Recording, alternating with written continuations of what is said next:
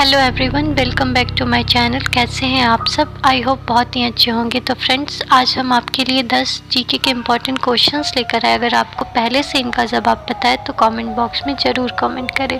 और हाँ अगर आप पहली बार हमारे चैनल पर आ रहे हैं तो चैनल को सब्सक्राइब करें और बेलाइकन ज़रूर ऑन कर लें, ताकि अपकमिंग वीडियो के नोटिफिकेशन मिलते रहे। तो चलिए हम अपने प्रश्नों की तरफ़ चलते हैं। तो दोस्तों, आपका पहला प्रश्न है किस शासक ने सिंचाई कर लगाया था।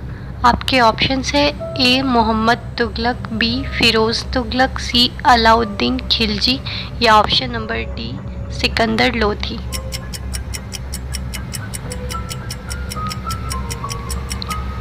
इस प्रश्न का सही जवाब है option number B Firoz Tughlaq. Firoz Tughlaq ने सिंचाई कर लगाया था। दोस्तों, अब हम अपने दूसरे प्रश्न की तरफ़ चलते हैं। क्वेश्चन नंबर टू है, हमारे देश में किस मुद्रा को वैधानिक मान्यता प्राप्त है? हमारे ऑप्शन है ए वस्तु मुद्रा बी साख मुद्रा सी पत्र मुद्रा, या डी चेक।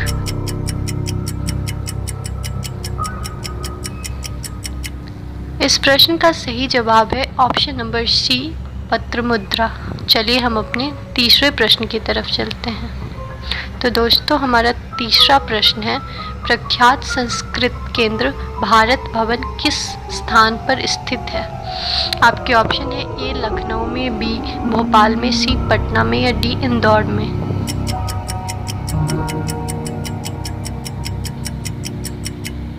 सही जवाब है ऑप्शन नंबर बी भोपाल में।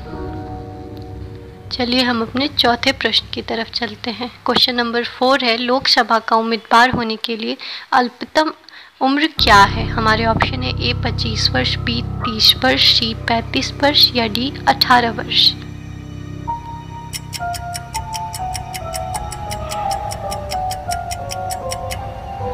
सही जवाब है ऑप्शन नंबर ए पच्चीस वर्ष। हमारा पांचवा प्रश्न है गवर्नर जनरल की कार्यकारिणी में नियुक्त होने वाले प्रथम भारतीय कौन थे? हमारे ऑप्शन है A Satyendra Nath Sinha, B Dadabhai नरौजी, सी सुरेंद्र नाथ बैनर्जी या डी इनमें से कोई नहीं।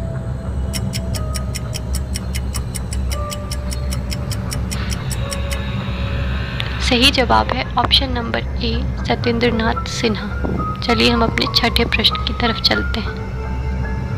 क्वेश्चन नंबर सिक्स है मुस्लिम लीग के पृथक निर्वाचन मंडल की मांग किस अधिवेशन में किए गए थे? हमारे ऑप्शन है ए, नागपुर अधिवेशन, बी, लाहौर अधिवेशन, सी, कोलकाता अधिवेशन या डी, अमृतसर अधिवेशन।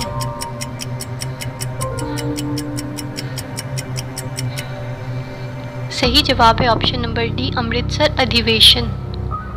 सातवां प्रश्न है, अनवर सुलेही नामक ग्रंथ, किस भारतीय ग्रंथ का अनुवाद है? हमारे ऑप्शन है, A, Mahabharata, B, Panchatantra, C, Adi Granth, या डी, रामायण।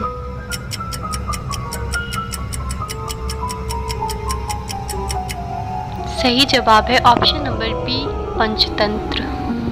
हमारा आठवां प्रश्न है, यूरोपियन संघ में कितने देश हैं? हमारे ऑप्शन से ए, सत्ताईस, बी सौ सी अट्ठाईस या डी तीस।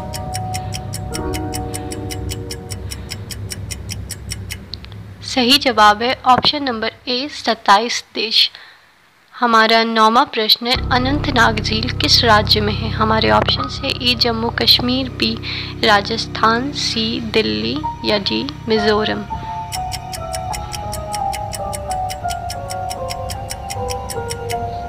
इस प्रश्न का सही जवाब है option number A, Jammu and Kashmir. हमारा दसवां प्रश्न है बास्को डिगामा भारत कब आया था? हमारे ऑप्शन है ए, चौदह सौ संतानवे बी, चौदह सौ अठासी, सी, चौदह सौ बिरानवे या डी, चौदह सौ अंठानवे।